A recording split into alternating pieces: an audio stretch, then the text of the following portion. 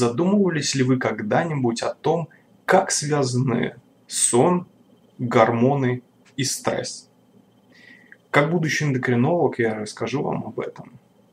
Незадолго до естественного пробуждения железы нашего организма начинают вырабатывать в кровь повышенные концентрации гормонов стресса и адаптации, к которым относятся кортизол, адреналин и норадреналин. Это гормоны коры надпочечников и гормоны мозгового вещества надпочечников.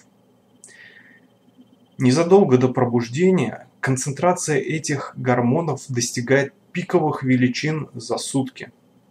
И это позволяет безболезненно преодолеть стресс пробуждения, перехода от безмятежного сна к суровой действительности.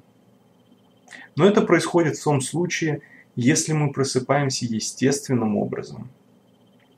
Когда же мы просыпаемся под звуки будильника, мы как бы вырываем себя из состояния спокойного сна и помещаем себя в суровую действительность.